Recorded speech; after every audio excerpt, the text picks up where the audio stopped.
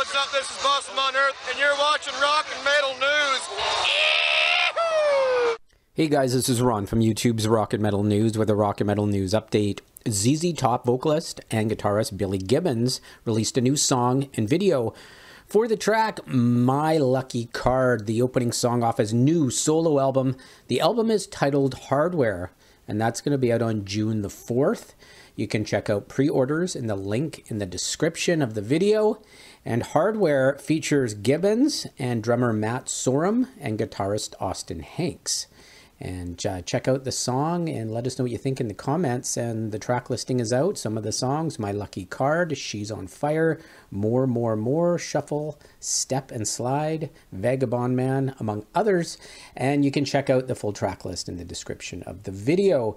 Are you looking forward to the new Billy Gibbons? This is Ron from YouTube's Rock and Metal News. Thanks for tuning in.